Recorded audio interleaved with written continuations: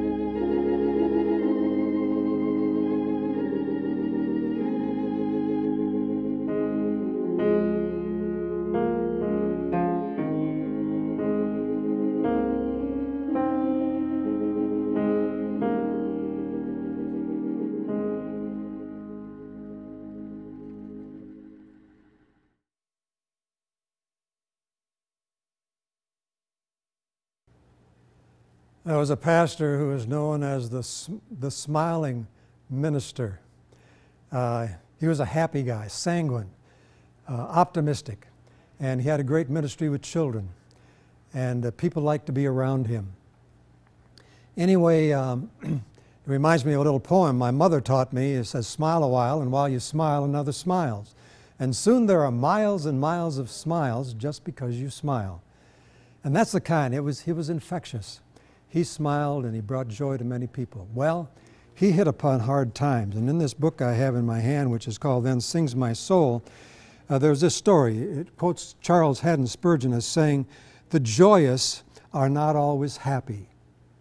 I'll repeat that and let it sink in. The joyous are not always happy because a series of heartbreaks uh, shattered the spirit of this happy Christian minister. And uh, Frank Graeff was his name. He found himself un in unfamiliar valleys of deep depression and despondency. His gloom became as great as the bliss he had previously known. At length, he collapsed into the everlasting arms, and he found himself singing an old hymn. And this brought him to write this hymn.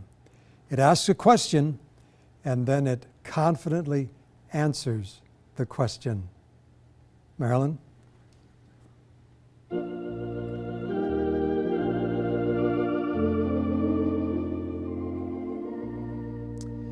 Does Jesus care when my heart is pained too deeply for mirth and song?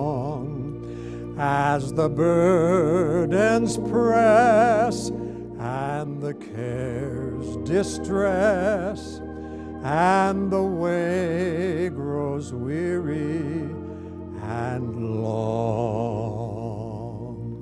Oh, yes, He cares, I know He cares. His heart is touched with my grief. When the days are weary, the long nights dreary, I know my Savior cares. Does Jesus care when I've tried and failed to resist temptation so wrong?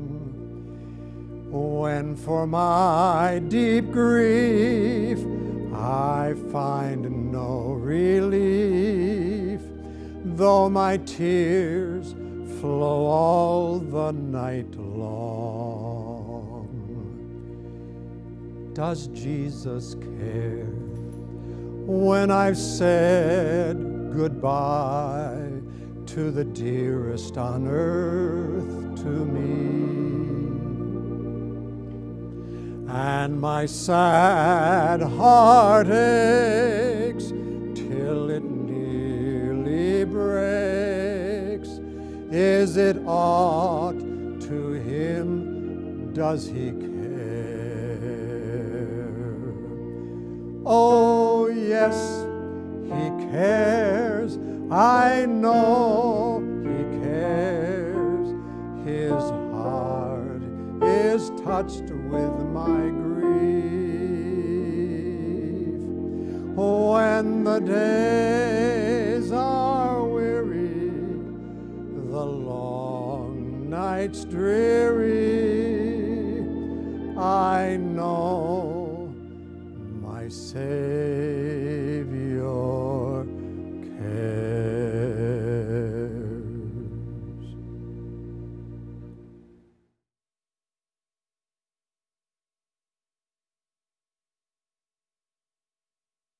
cast all of our anxiety upon Him, for He does care for you and for me. 1 Peter 5 7 ought to be a favorite. It's one you ought to memorize. No matter what version you read it in, it's going to be good. And casting all your care upon Him, for He cares for you. Well, this is, this is the harvest time. And it's just wonderful to, to uh, know that the farmers are out in the fields. It's a joyous time, it's a busy time. It's a time of hard work, it's a time of long hours. It's a time of filling up the granaries and the bins and uh, getting ready. I'm thinking about uh, a verse in the book of Psalms in chapter 126 where it says, They that sow in tears shall reap in joy. He that goes forth and weeps, bearing precious seed, shall doubtless come again with rejoicing, bringing his sheaves with him. That's from Psalms 126 in the Old Testament. Well, I read in the Bible, in my daily Bible reading, I'm reading in what's called the chronological Bible. And the chronological Bible takes uh, the, the, accounts of Scripture and puts them in consecutive order, uh, close to the way that the, the, the, dates that they happened or were written. And uh, so in my reading now, I'm in the Gospels. And uh, in the gospel this week in the Gospel of John in chapter 4 about the woman at the well. Now, Jesus said with his disciples he was going to go through Samaria. When he got to the well, he sent them into town uh, to get food, but he waited at the well. And then a lady came to draw from the well, and he asked her for water. And she was surprised that he, being a Jew, would ask a Samaritan for water. But uh, in the conversation that he had with her one on one, and I like to think of this program as being just a conversation one on one, I'm I'm alone, and very likely you're alone. Maybe there's several with you, but I want to speak to you individually, one at a time. I want to just share my heart with you, and I want your heart to be encouraged, your heart to be comforted, your heart to be instructed, hopefully in some way. Now, I'm just a, a simple preacher who grew up on a farm, and I try to plant seeds. The good seeds I try to plant are the seeds of God's Word, to plant them in your heart and let them grow. And it says that if we sow those seeds with compassion, that ultimately there will be a harvest that will be a happy time. Well, it's harvest season, and this is the time that um, in southern Minnesota and northern Iowa is very important. So, as I'm thinking about this passage, I come to verse number number 35 in chapter number 4. And uh, he says to his disciples, My meat is to do the will of him that sent me and to finish his work. Don't say that there are four months and then comes the harvest. Behold, I say unto you, lift up your eyes and look on the fields, for they are white already to harvest. Jesus said, Something to, is more important to me than food, and that is doing the will of God. And then he says, Don't think in terms of the growing season. 120 days might be a typical growing season from the time you plant the seed in the ground till the time you harvest the, the, the fruit of the crop. And he says, don't think in terms of waiting four months before you put in a harvest. Harvest is now. Harvest is ready. For there's always a harvest. In every generation, there's a harvest. It's a needy time. As I look in my Bible, he says, Lift up your eyes. I met a man, or talked to a man just this week, who said, admitted, as an, uh, a man older than I am, he said, I don't listen. I don't listen. And uh, I guess that's true of a lot of us. We don't listen. It's good to train our ears to hear, to hear what other people say, and to listen carefully, especially when it comes to God's Word. He said, Lift up your eyes. Lift up your eyes to see, catch a vision. Did you know that there is a place on the internet where you can go and see the population of the world as it's happening? it's uh, clicking off over 7 billion people in the world. How many are being born at the present time? The numbers are ticking away 170,000 when I looked at it this afternoon. 170, um, and, and, and, it, and the other numbers are there. How many are dying and how, many, uh, how much gain there is. And it's, it's, it's constantly moving and changing. Yes, we should lift up our eyes and see the present need in the world. It says of Jesus that he, he, when he saw the multitude, when he saw the multitudes in his day, he was moved with compassion. He saw them as sheep without a shepherd. All we like sheep have gone astray. We have turned everyone to his own way. And the Lord has laid on him, that is, the Father has laid on the Son, the iniquity of us all. Yes, we are as sheep that have gone astray. There were ninety and nine that safely lay in the shelter of the fold. But one was out on the hills away, far off from the gates of gold. And so the shepherd leaves the ninety and nine and he goes after the one lost sheep. And when he finds it, he lays it on his shoulder and brings it home, rejoicing. You see, the harvest is a time of rejoicing. When a wayward boy comes home, it's a time of rejoicing. When a prodigal daughter comes back, it's a time of rejoicing. When a sinner comes to the cross, it's a time of rejoicing. When a child sheds tears and asks for forgiveness, it's a happy moment for the child as well as the parent. Lift up your eyes and see the present need. The word others is a powerful word. There's a story that took place, took place back in 1910. William Booth, who was the the founder of the Salvation Army, was gravely ill. And the convention was meeting. It was Christmas time. The convention was meeting, and he knew he would, he would be unable to be there to, to speak to the thousands that would gather, to be inspired by his words. And so somebody suggested, they said, um, well, uh, maybe he could send a telegram. And so that's just exactly what happened.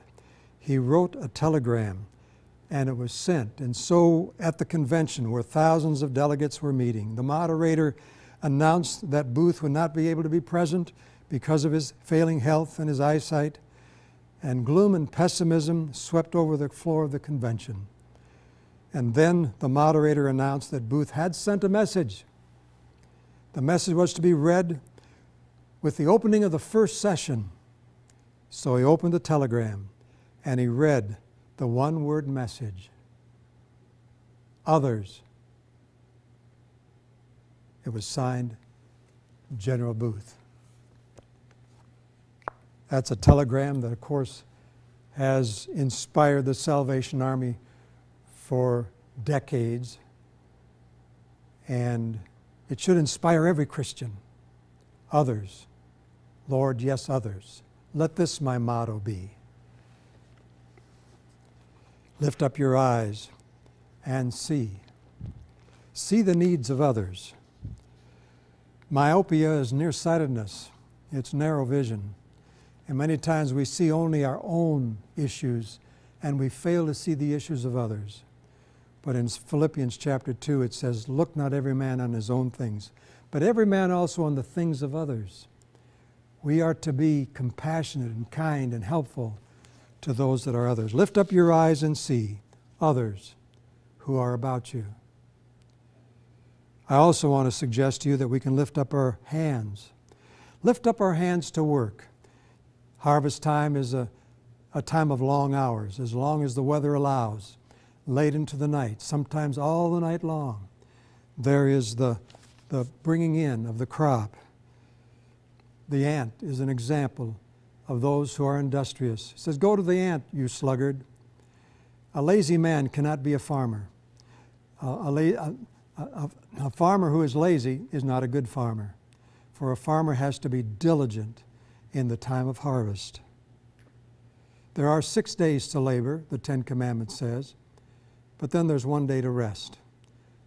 But in the time of harvest, we need to remember that old song that says, Work for the night is coming. Work in the morning hours. Work when the sun is at its peak. Work when evening shadows come. Every stanza of that song tells us to work, to work. Onward, Christian soldiers. Uh, onward, Christian soldiers, marching as to war. It's time to go to the battle. It's time to go to the field. It's time to lift up your hands and work. It might be to pick up the sword, to defend, and it might be to um, pick up the trowel to build a wall.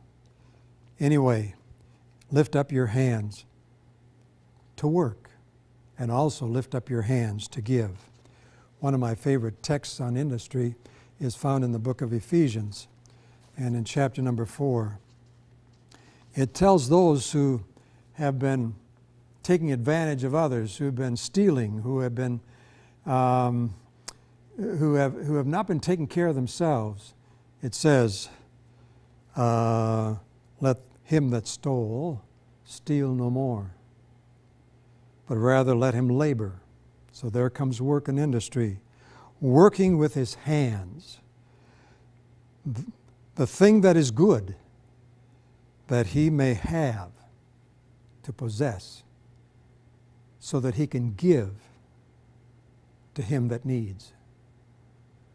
So it shows that as God enabled you with strength to work so that you can earn, so that you can have, then you should include being able to assist and aid, stewardship, tithing, giving, offerings, and alms, helping missions and projects. Lift up your hands and labor. Lift up your eyes and work. But I want you to see this verse in another light as well. And I say it this way lift up your heart. Lift up your heart to pray. In that passage in Matthew chapter 9, where Jesus saw the multitudes and was moved with compassion, he saw them as sheep having no shepherd. Then he said, Pray ye therefore, pray ye therefore, the Lord of the harvest, that he will send forth laborers into his harvest. Yeah, harvest is time is a time when farmers maybe need to, to call in others to help them. They need to get a hired hand to assist. And here is the prayer Jesus taught them to pray pray for laborers. The laborers are few, the harvest is plenteous. There's more harvest than there is laborers. That's why Jesus said, This is an urgent message. This is a message we should feel um, a, a, a, an inspiration to do something. I must do something. It's a, a challenge to pray for laborers. Some of us are getting too old to do much anymore. But there's one thing we can always do sitting in a care center, sitting in your own home, maybe even so weak you're in a hospital bed. You can pray. Pray for one missionary. Pray for one relative. Pray for one neighbor. Pray for one sorrowing soul, one widow, one widower. It is good to pray. Lift up your heart in prayer. In other words, express your trust in God and your confidence that even though you cannot do anything besides pray, God can do what we cannot do for ourselves or for others. Lift up your heart and pray, but also lift up your heart to care. You see, love and compassion have to come from some spring, some fountain, some deep well. And the deep well is the Savior. The Savior inspires us to love. If we follow His example, if we follow in His steps, we will go in the path of service. There is joy in serving Jesus. Because He cares, we should follow His example. I'd spoke to you about the missionary that went out from our church back in the early 80s who went down to Peru. He and his wife found a little cottage where the, where the widow lady said, You can rent a room to sleep in. And he said, Well, I will rent it if you'll let us use your living room for church service. And the first, that was on a Saturday night, they moved into this little room.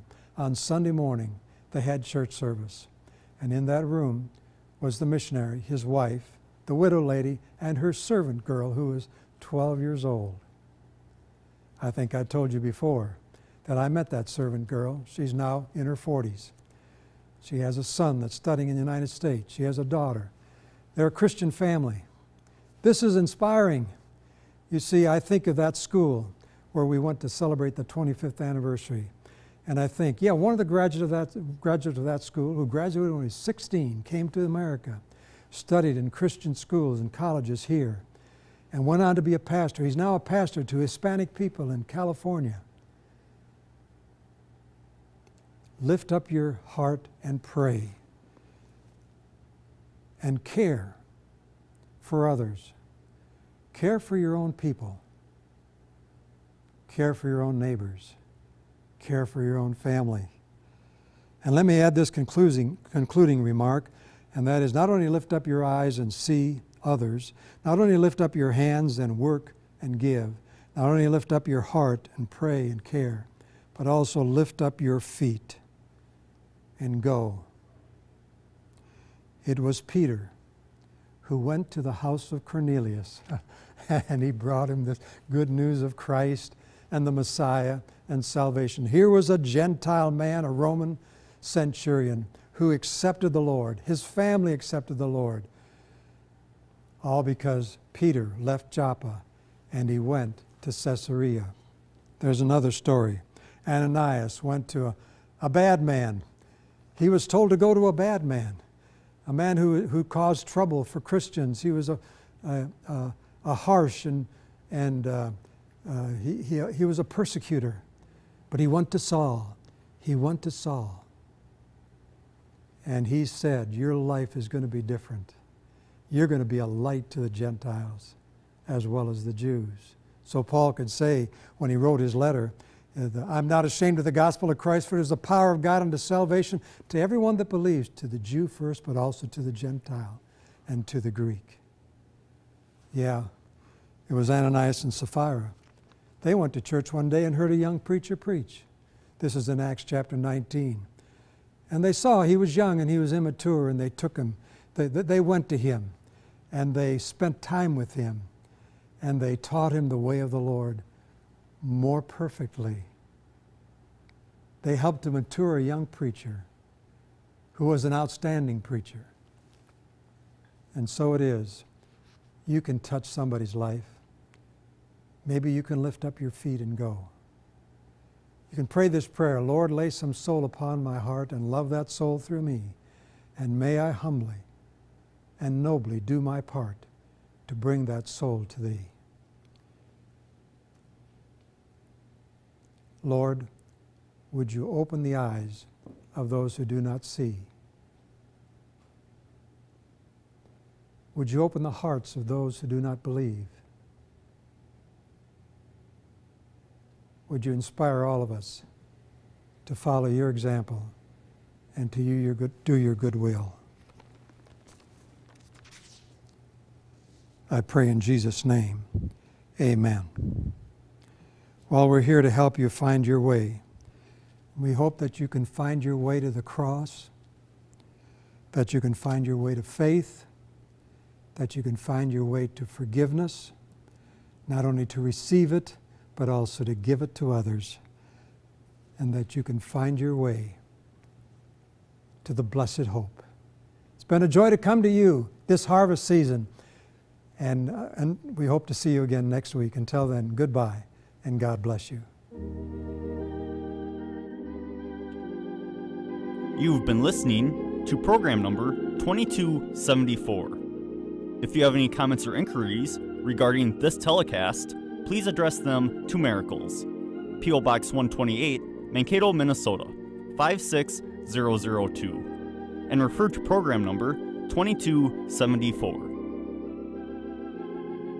I Believe in Miracles is a ministry of Grace Baptist Church in Mankato.